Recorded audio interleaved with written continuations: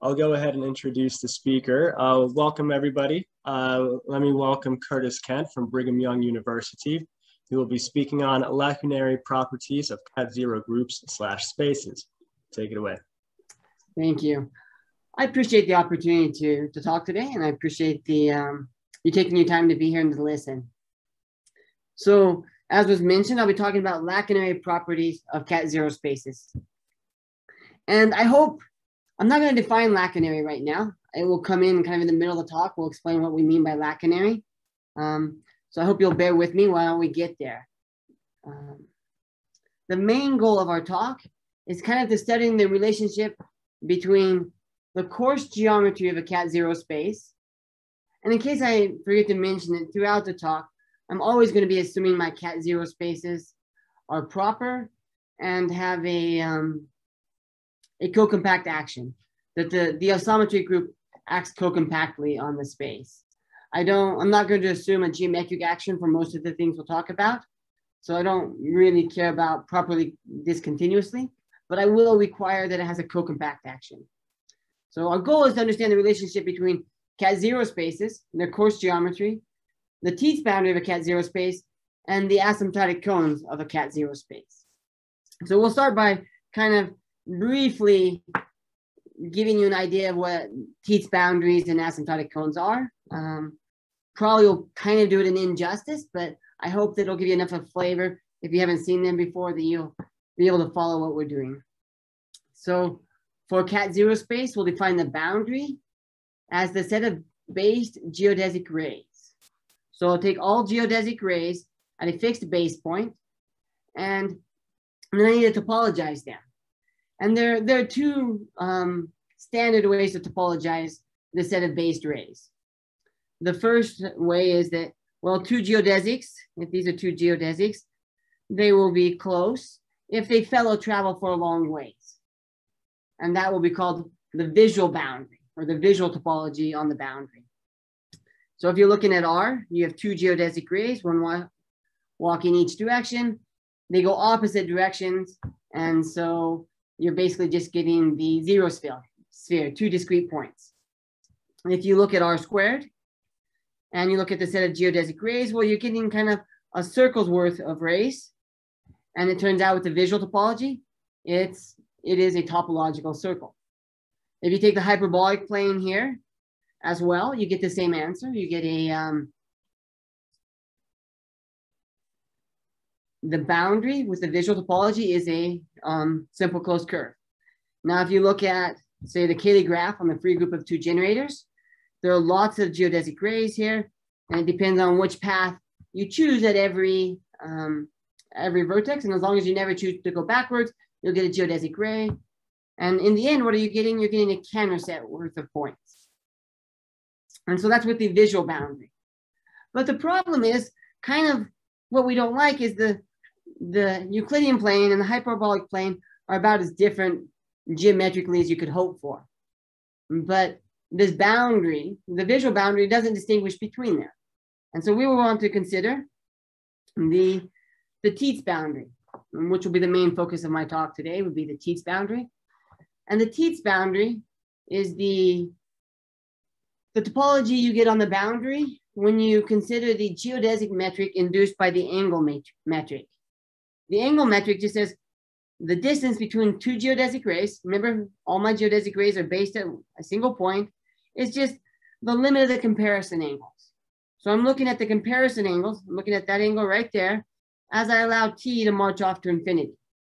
And that limit will be um, the, the angle between two metrics or I mean the, the angle between two geodesics. And the distance between two geodesics would be the minimal, the length of the minimal path between them. Well, there might not be a path between them, in which case the distance will be infinity. So what you want to think about is the Tits metric kind of interprets the path components are things where I can go from one to the other in some nice Euclidean fashion. And then the path, then distinct path components means there's no way to get from this geodesic ray to that geodesic ray in a in a kind of Euclidean way. It says they're very different. They they're different directions entirely. We'll be more precise about that in a little bit. Okay. So properties, well, really the visual boundary, while kind of natural and classical, it's not really a group property. Croke Kleiner were able to show that there exists a nice um, cat zero group that acts geometrically on two cat zero spaces with non-homeomorphic visual boundaries. So even up to homeomorphism, the boundary isn't a property of the group, it's just a property of the cat zero space. This is a very classical example and, very interesting, and lots of people spend a lot of time thinking about this example. Specifically, Xie also was able to show that if I take this example, and rather than consider the, um, the visual boundary, I consider the boundary with the Tits topology, the Tits boundary, well then the part that matters about the boundary, the, the path, the large path component is actually bi-Lipschitz, regardless of which um, cat zero space you're acting upon. Sort of. I, I cheated there a little bit, but, but that's okay. Um, and then the other components of the Tits boundary are either points or intervals. And so you can match them up nicely. So in some sense, the Tits boundary is a better um, a better boundary for the Croke-Kleiner example because it's kind of it's a property of the group and not necessarily just a property of the space on which the group is acting. Okay, so asymptotic cones. Um, if you if you've never seen asymptotic cones before, this might not be that enlightening, but we'll try anyway. For a 20 minute talk, we'll see what we can do. Um, so you want to understand the coarse geometry of your space by looking at your space as you walk farther and farther away from the, the space, okay? So imagine as you're flying away from your, your metric space, you look back. Things that were one time far apart get closer and closer together as you fly away. And you want to take the limit as you do this. What does that mean? Well, that means I need to scale my distances. So I choose a sequence of numbers d sub n that diverge to infinity. And then I look at sequences of points. And I look at all the sequence of sequences of points. And then I say the distance between two sequences of points is the, the limit of the distances of the coordinates when I scale by these larger and larger numbers. But the problem is, um, one, this doesn't have to be bounded, and two, it doesn't have to converge. So to make it be bounded, you have to fix an observation sequence. And when you fix this observation sequence, then I restrict myself to sequences which are close to that observation sequence. And I throw all the others away. So that makes all the sequences bounded. Make makes this a bounded set of numbers for every sequence inside of my, my cone. But bounded sequences don't converge. So you pull out your favorite magic wand and you take omega, which is an ultra filter. And for this purpose of this talk, you don't have to know anything about ultra filters other than they make this make sense. This limit will always um, converge when I look at the omega limit. So omega is just the magic wand that makes um, bounded sequences converge.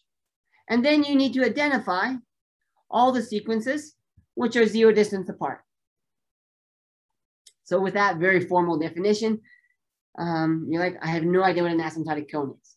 So let's at least look at a couple trivial examples. If you take the real numbers, or um, r to the n with the Euclidean metric, and you scale it, what do you get? You still get r to the n.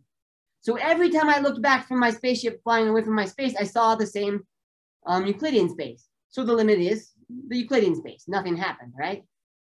So let's take a non-trivial example, a slightly non-trivial example. Let's take like Z2 with the nice, with the canonical word metric Z2. I can imagine Z2 embedded in the plane as the integer lattice in the plane. And then when I scale the metric by one half, now I have that one half integer lattice. And when I scale it by one fourth, I get the one fourth integer lattice and the one eighth integer lattice. And in the limit, I'm getting the whole plane, right? But the problem is at each stage that you get from one point to the other point, you have to go horizontally, then vertically.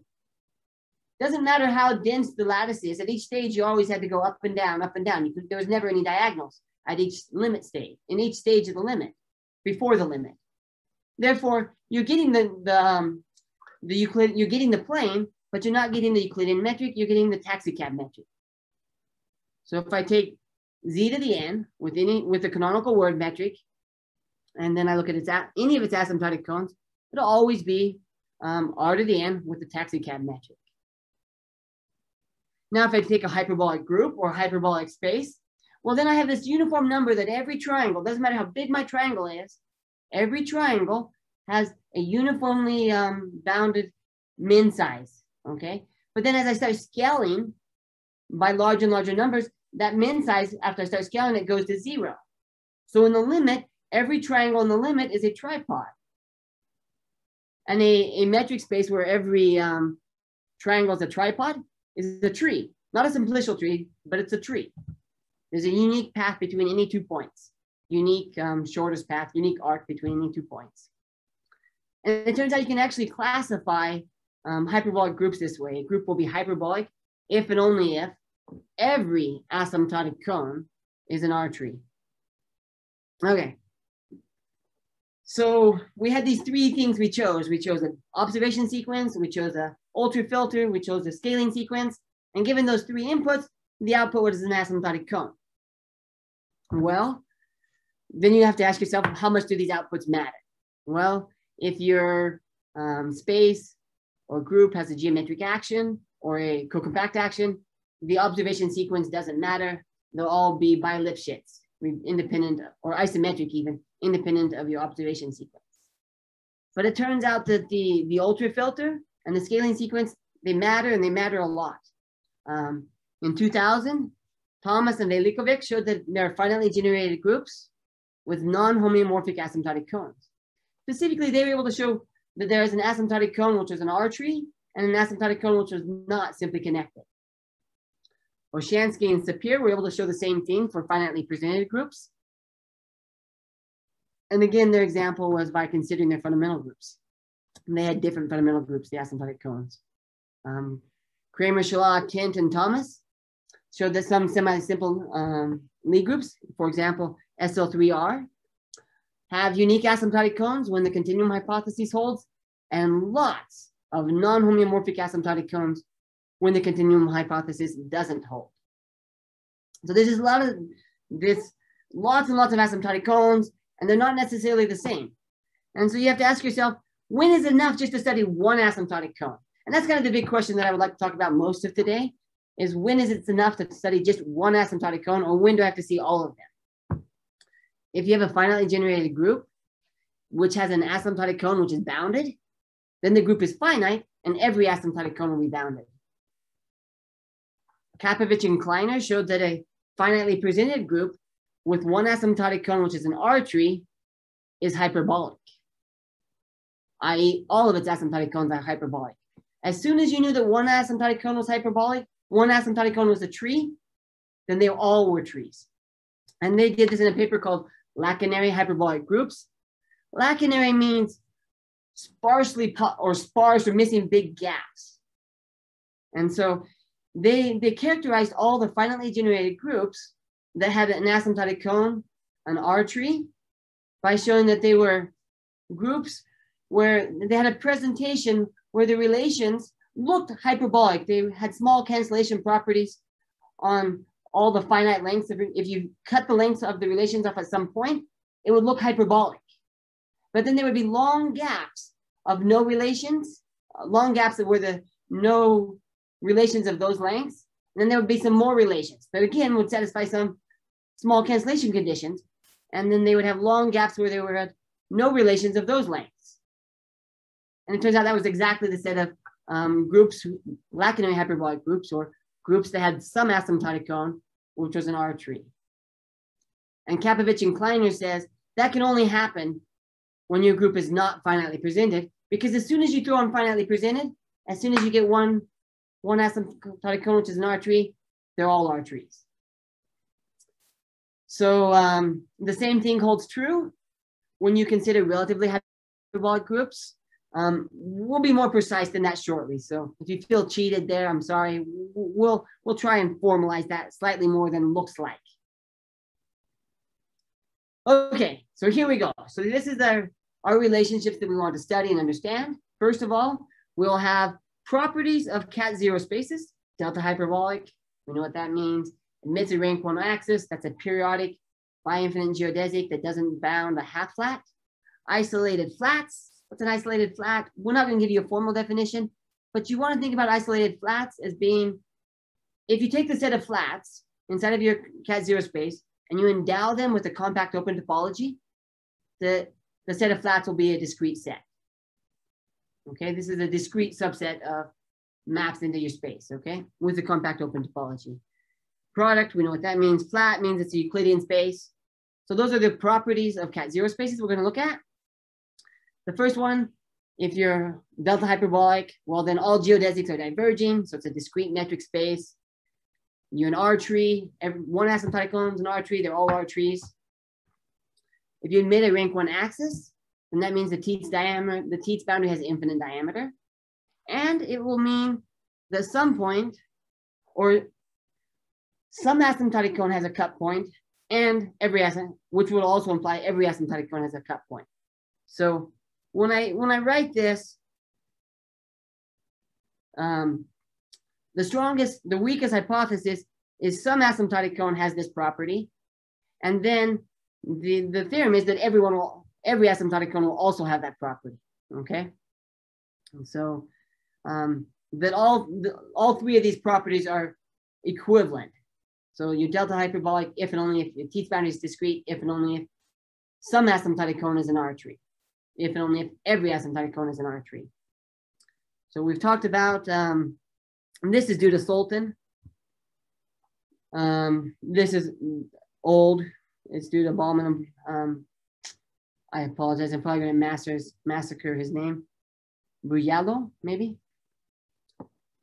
So now let's look at isolated flats. Due to um, Hruska and Kleiner, they're able to show that a cat zero space with a geometric action um, will have isolated flats if and only if the Tits boundary is a disjoint union of points and spheres, if and only if every asymptotic cone is tree graded. So Bruce, um, Hruska and Kleiner, they, they did the every asymptotic cone is tree graded issue. And so we want to talk about tree graded for a second. A geodesic metric space is tree graded if it looks like a tree except for some fat things, i.e. there's a, a collection of pieces and any two pieces will intersect in at most one point and every simple closed curve is contained in a piece. So you could put like a Euclidean space there and maybe you put a hyperbolic space here and maybe you put a finite graph there. But anytime I want to get from one piece to another piece, there's a unique way to get there up to which pieces you travel through, okay? And um, sorry, my slides got messed up. So that's a tree graded space. Drutu and Sapir were able to show that this exactly character, characterizes the relatively hyperbolic groups. A finitely generated group will be relatively hyperbolic if and only if every asymptotic cone is tree graded with respect to limits of cosets of H. So um, Drew and Sapir did the every case. Coulon, Hull, and myself a couple years ago did the. It's enough to look at one asymptotic cone if you were finitely presented. And I mean, you could weaken this, and we do in our paper, but for now, this is um, this is gives you a flavor of what's going on. But in both cases, in both cases, we had to require the asymptotic cone is tree graded with respect to limits of the coset what we did in um, a new paper, Ricks and I, Russell Ricks and I, we were able to show that you can do better than that for cat zero spaces. That a proper co-compact cat zero space has isolated flats if and only if some asymptotic cone is tree graded with respect to flats. But you notice I don't have to put any hypotheses on how those flats arise. It's easy to, to create flats that are limits of other types of spaces. But just in, as I start scaling things, they look more and more and more Euclidean. But here it says, when in um, Hruska's and Kleiner's results, they say it must be tree graded with respect to limits of flats. And here we, it's enough to just look at what's in the end. I don't care how these flats arise. As long as I'm tree graded with respect to flats, then I know that my space will have isolated flats. Okay, so that gives me the equivalents of those. And the next one is products and flats. Now I'm going to cheat here. Um, you have to actually do a little quasi-dense um, convex subgroup arguments here. So um, your product, if and only if the Tits boundary is a, a spherical join, well, no, not actually. If your product that implies the um, Tits boundary is a spherical join, if the Tits boundary is a spherical join, that implies there's some quasi-dense convex closed subset, which is a product, okay? So that's the best you could hope for because you could always take some nice product space and wedge on some finite thing, and you would still have some nice co-compact action. The boundary would be unchanged, but I'm no longer product, okay? And it turns out that um, you can actually distinguish this product structure from looking at one asymptotic cone. And so the asymptotic cone of a product is immediately a product of asymptotic cones, but the other direction is, is false in general, that the asymptotic cone is a product. There's no reason for the base space to be a product in general. There are lots of examples where that's not true. Um, so what we show is that if you look at proper co-compact metric spaces and you see your asymptotic cone is a non-trivial product space, then so was some closed convex quasi-dense subgroup of your space. I am almost out of time, so just quickly, um, last thing I want to talk about is if you're flat, so your your Tits boundary is a sphere, and a sphere is compact. It turns out that it's the compact that matters. If your Tits boundary is compact, then you're actually a you have a containing quasi-dense flat. Um, that was originally done by Bush in an unpublished preprint. Um, it also follows from works work of Rick and I, Russell and I. And it also follows from if you have one asymptotic cone, which is proper, then your cat zero space will be flat. So thank you. Okay, let's thank our speaker. Are there any questions for Curtis?